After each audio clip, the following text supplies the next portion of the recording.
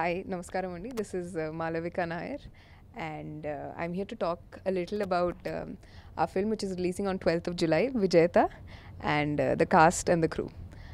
So, uh, to talk about uh, Kalyan Dev, who's the hero of our film, he's he's a he's an absolute sweetheart. He's uh, honest. He's very simple, very easy to talk to. As an actor, he's very hardworking. He's focused, and he he works he works on what he has to do and I, I can see his focus and i can see his attention every time he's acting and he wants to give his best which as an actor is, an absolute asset to have that kind of mentality. And uh, to talk about Rakesh Sashii who's our director he he's a man of very few words. He doesn't talk much but um, he he has this ability to focus in, in between a storm like as a director you need to really have a focus to get the creative output. And e- even when like a lot of things are going wrong which always do on film sets he wants his scene done. And uh, even if there's a little thing that he wants to be changed he'll, he'll go for another shot how much ever he co- it costs. And um, that i think is, is it, as it is it's very hard to be a director. And um, he's doing a really amazing job and he's a, he's a beast when he works.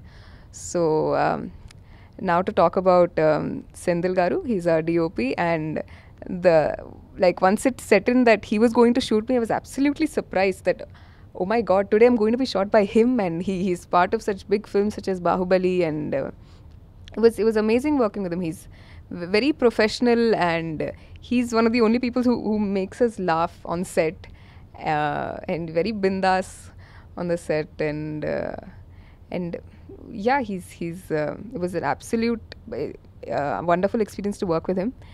To talk about um, Sai Korrapati Garu, uh, it's it's like a step up for me to work with um, uh, Varahi Chalachitram, and it's it's it's been wonderful. Even when I met him for the first time, he's he's uh, very kind, very generous, and uh, he's known to known for picking very unique scripts.